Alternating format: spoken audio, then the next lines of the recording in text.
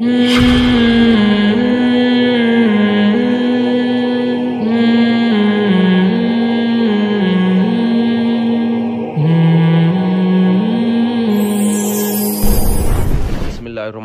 जो हज़रत अली की गुस्ताखी के बारे में मेरा क्लिप चलाया है, मैं कभी तस्वुर भी नहीं कर सकता हज़रत अली रज़ी अल्लाह तु की गुस्ताखी का। हज़रत अली से महब्बत हमारे भी ईमान का जुज़ है शिया हजरात भी की नज़र में भी वो काबिल एहतराम है। तो मेरा ख्याल है कि शिया सुन्नी फसादात की कोई कोशिश मालूम होती है। शिया से भी मेरी बातचीत रही है, पहले भी, हमेशा से भी। अहल बैत की मोहब्बत में तो सब मुश्तरक हैं। टेलीविज़न में भी मेरी डिबेट रही है शिया के साथ, और बैठे हम, हज़रत साहब कराम की मोहब्बत पर। उन्होंने भी बात की, हमने भी बात की। तो ये कोई फसादात वाली सूरत मालूम होती है। वैसे भी आप देखें कि मैं किसी गरीब की तोहन नहीं कर रहा इसमें। मैं उस दामाद की तोहन कर रहा हूँ जो झूठ बोलकर अपने आप को गरीब साबित करता है और लाखों रुपए का जहेज़ लेता है। कुछ लोग कहते हैं, जहेज़ लेना लानत नहीं है। और आप सल्लल्लाहु अलैहि वसल्लम ने अपनी बेटी को जहेज़ दिया था। आप सल्लल्लाहु अलैहि वसल्लम ने अपनी बेटी को जहेज़ नहीं दिया था। हज़रत अली से ने पैसे दिए थे। दो रिवायतें एक तो एक हज़रत अली से महर लेके उसमें से कुछ चीज़ें बनाई थी। और एक रिवायत ये कि हज़रत अली खुद नबी की कफालत में थे। मिसकीन थे, गरीब थे, कुछ भी नहीं था।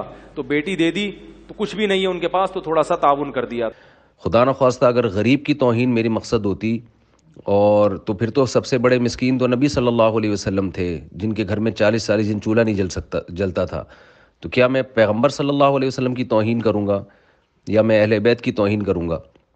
तो ये पूरा बयान जिस सियाको सबाक में है, उसमें इतना बुरा भला जो आदमी किसी को कह रहा है तो वो उस दामाद को कह रहा है, जो जो घुन्ना बन के जहेज ले रहा होता है। तो आपका दामाद अगर इतना गरीब है कम बखत डबल बेड भी नहीं खरीद सकता मनूस माजरत के साथ और डिनर सेट भी नहीं खरीद सकता वॉशिंग मशीन भी नहीं खरीद सकता तो ऐसे मनूस को बेटी ना दो पहले तो। बोले जब तेरे पास देला नहीं है तो फिर तू गरीब लड़की से कर जिसके पास ये भी ना हो।